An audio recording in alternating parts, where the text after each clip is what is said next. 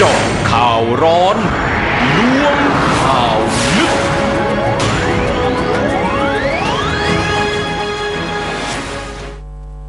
ค่ะท่านผู้ชมคะเข้ามานะคะในช่วงที่ 2 ของรายการแล้วค่ะแล้วก็ช่วงนี้เนี่ยนะคะมาตามกันกับข่าวคราวการเสียชีวิตนะคะของนายอัมพลตั้งนพกุลหรือว่าอากงวัย 61 ปี ผู้ต้องขังในคดีหมิ่นเบื้องสูงนะคะที่เสียชีวิตที่ทันทสถานโรงพยาบาลราชทัณฑ์เมื่อช่วงเช้าที่ผ่านมา ก็ดูเหมือนว่าเนี่ยนะคะประเด็นประเด็นนี้จะกลายเป็นประเด็นที่มีผู้นำมากล่าวอ้างถึงการ ไม่เอาใจใส่นะคะของทางกรมราชทัณฑ์ต่อบรรดาผู้ต้องขังที่มีอาการเจ็บป่วยในขณะเดียวกันนะคะกับทางญาติของผู้เสียชีวิตเองก็ออกมาตำหนิการดูแลรักษาของกรมราชทัณฑ์แหละค่ะว่าเป็นไปอย่างล่าช้า เกี่ยวกับกรณีนี้นะคะทางด้านของพันตำรวจเอกสุชาติวงอนันชัย อธิบดีกรมราชทัณฑ์ก็เปิดเผยว่า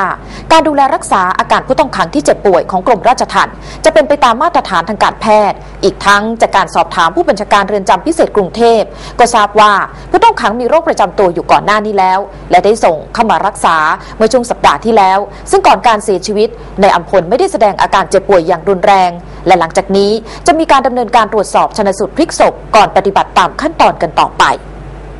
ชีวิตก็ในส่วนสาเหตุที่ถูกต้องในส่วนของการดูแลผู้ต้องขังเนี่ยนะครับ ทางกรมราชทัณฑ์ก็ให้นโยบายกับทางโรงพยาบาลที่ดูแลผู้ต้องขังเนี่ยตามมาตรฐานทางการรักษาทางการแพทย์อยู่แล้วนะครับ แล้วก็ในส่วนของเออผู้เสียชีวิตเนี่ยก่อนหน้าเนี่ยที่จะเกิดเหตุการณ์เสียชีวิตในวันเนี้ยผมก็สอบถามดูเนี่ยก็บอกว่าอาการโดยทั่วไปเนี่ยก็ไม่ได้มีอาการอะไรที่จะบ่งชี้ว่าท่านจะ เกิดอาการที่รุนแรงถึงขนาดจะเสียชีวิตเลยนะครับ อันนี้เดี๋ยวก็คงต้องให้ทางแพทย์เนี่ยอ่าไปตรวจหาสาเหตุก่อนว่าเอ๊ะเกิดมาจากอะไรนะครับ เดี๋ยวพร้อมกันทุกฝ่ายตอนนี้หรือยังคะหรือว่าก็เราแจ้งไปตั้งแต่เมื่อเช้าแล้วครับ แต่ว่าเข้าใจว่าคงอยู่ระหว่างการเดินทางมากระบวนการทั้งหมดน่าจะเสร็จสิ้นภายในกี่ วันคะครับไม่ทราบอะครับ ในส่วนนี้ก็ในในส่วนของการตรวจคงต้องให้ทางแพทย์ที่ทำการตรวจชนสูตรเป็นคนพูดให้ฟังอีกครั้งหนึ่งเห็นว่าในช่วงเย็นของวันนี้ค่ะกลุ่ม 24 มิถุนาค่ะจะมาไว้อะไรที่ด้านหน้าบริเวณเอ่อเรือนจำทางเรือนจำเตรียมมาตรการป้องกันอะไรยังไงผมผมเพิ่งทราบเพิ่งทราบเนี่ยครับยังไม่ทราบเลยครับเรื่องที่ว่าที่มีการเจาะเลือดตรวจรายการแล้วก็เข้าโรงพยาบาลบำเหน็จสุขมันจะเป็นยังไงบ้าง เดี๋ยวในส่วนนี้เดี๋ยวผมเรียนกับทางคุณหมอนะครับ ในรายละเอียดเดี๋ยวให้คุณหมอให้ข้อมูลกับทางท่านแต่ขณะเดียวกันนะคะท่านผู้ชมคะในส่วนของผู้สูญเสียนะคะ อย่างญาติของอากงเองก็มองเขาว่า การเอาใจใส่นะคะของเจ้าหน้าที่ต่อผู้ป่วยนั้นมีน้อยเกินไปค่ะ ซึ่งอาการป่วยของอากงมีมาระยะหนึ่งแล้ว ในขณะที่ทางทนายความของอากง ก็เตรียมที่จะยื่นเรื่อง ขอพระราชทานอภัยโทษให้กับอากงหลังการถอนอุทธรณ์ต่อสู้คดีค่ะ โดยนางรสมาลินนะคะ ตั้งนพคุณ ภรรยาของนายอัมพลตั้งนพกุลที่เดินทางไปรอรับศพอากง ที่ทันทสถาน โรงพยาบาลราชทัณฑ์และอยู่ในอาการโศกเศร้า และร้องไห้ตลอดเวลานางรถมาลินกล่าวเพียงสั้นๆนะคะว่า ขอตั้งสติก่อน ยังไม่ขอพูดอะไรในขณะนี้ ส่วนการจัดการศพอากง ต้องปรึกษากับลูกก่อน ทั้งนี้อากงเคยมีอาการป่วยเป็นมะเร็งในช่องปากก่อนที่จะถูกจับกลุมคุมขัง และเมื่ออยู่ในเรือนจำก็มีอาการป่วยกำเริบ ท้องบวม และมีอาการปวดท้องก็ถูกนำตัวเข้ารักษาในโรงพยาบาล และเสียชีวิตลงเมื่อช่วงเช้าที่ผ่านมา ไม่ได้ทราบอาการแล้วก็ยังไม่เจออากงเลยตั้งแต่วันศุกร์อะค่ะ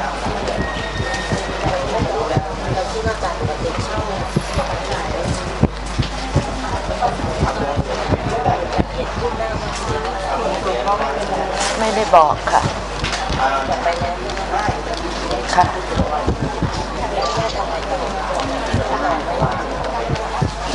ดิฉันก็ทำอะไรไม่ถูกแล้วค่ะ ก็ต้องโทรบอกพวกน้องๆ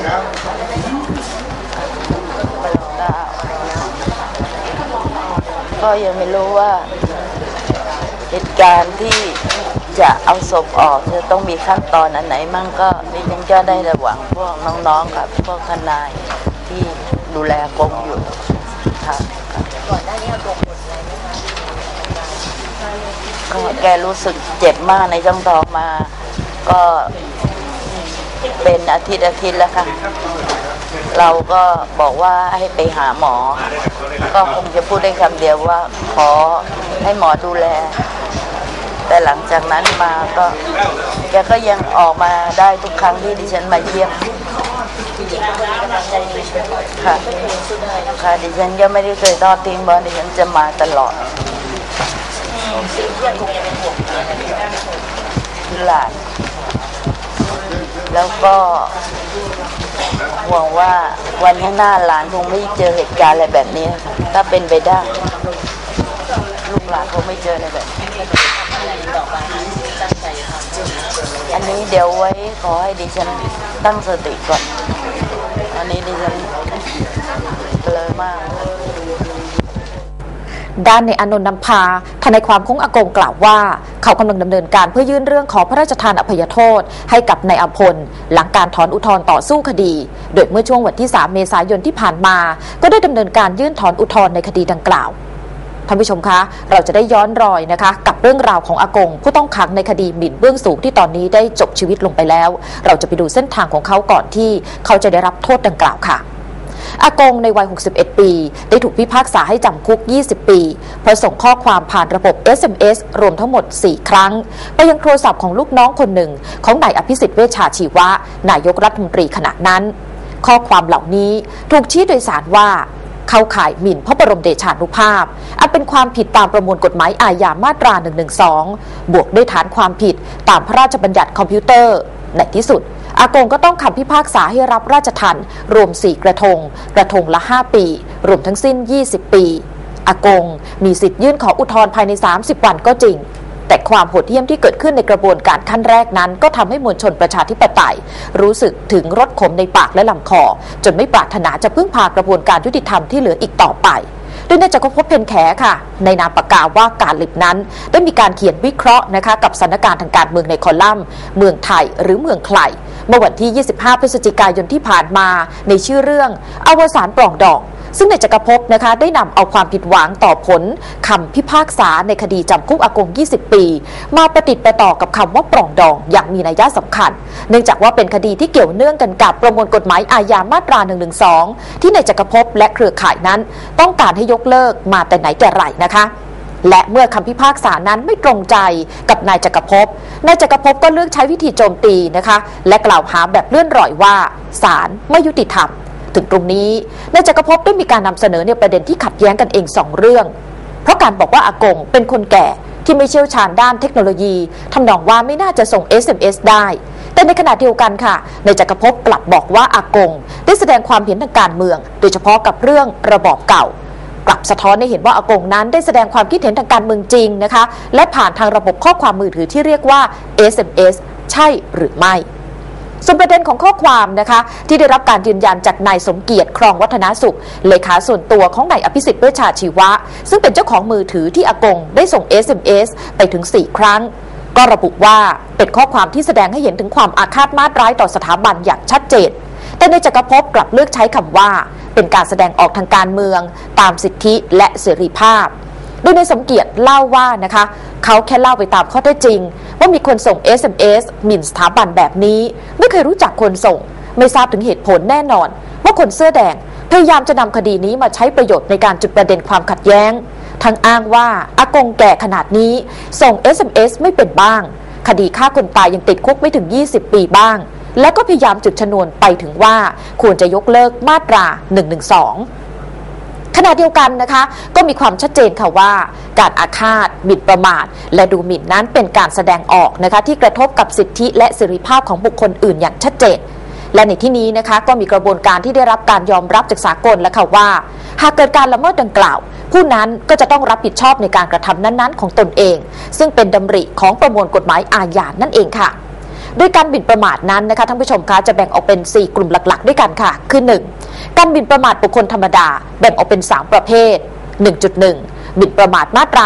326 โทษจำคุกไม่เกิน 1 ปี หรือปรับไม่เกิน 20,000 บาท หรือทั้งจำทั้งปรับ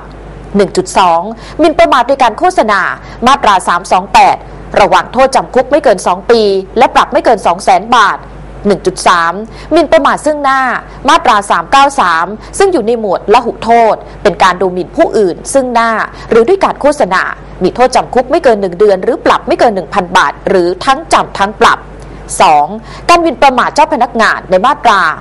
136 ต้องระวังโทษจำคุกไม่เกิน 1 ปี หรือปรับไม่เกิน 2,000 บาท หรือทั้งจำทั้งปรับ 3. การหมิ่นประมาทศาลในมาตรา 198 ต้องระวังโทษจำคุกตั้งแต่ 1 ปีถึง 7 ปี หรือปรับตั้งแต่ 2,000 บาทถึง 14,000 บาท หรือทั้งจำทั้งปรับ 4. การหมิ่นพระบรมเดชานุภาพ มาตรา 112 ต้องระวังโทษจำคุกตั้งแต่ 3 ปีถึง 15 ปีค่ะโดยในสมเกียรติสรุปด้วยนะคะว่า ต้องตอบคำถามว่าถ้าหากเนื้อหาใน SMS ของอากงเป็นข้อความดูหมิ่นหมิ่นประมาทอาฆาตมาตร้าย ก็ถามว่า เป็นการใช้สิทธิและเสรีภาพตามรัฐธรรมนูญหรือไม่ ซึ่งสามารถตอบโต้นะคะ ได้โดยง่ายค่ะ ว่าไม่ใช่ เพราะต่อให้ส่งข้อความนี้ไปให้กับใครก็ตาม ก็ล้วนแล้วเนี่ยนะคะ แต่เป็นความผิด ส่วนการกำหนดโทษเอาไว้นั้นก็ต่างกัน ก็เป็นเพราะความสำคัญที่แตกต่างกันนั่นเอง โดยเฉพาะกับสถาบันพระมหากษัตริย์นะคะที่เปรียบเสมือนกับเป็นศูนย์รวมทางด้านจิตใจของคนไทยทั้งทั้งประเทศค่ะ ไม่ว่าจะเป็นอย่างไรก็ตามนะคะท่านผู้ชมคะณวันนี้นะคะ วันที่อากงได้หมดลมหายใจลงด้วยอาการป่วยจากโรคที่เป็นมาตั้งแต่ก่อน เข้ารับโทษที่แม้ว่าจะมีการดูแลรักษามาโดยตลอดนะคะแต่ว่าอาการของอากงนั้นก็ไม่ดีขึ้น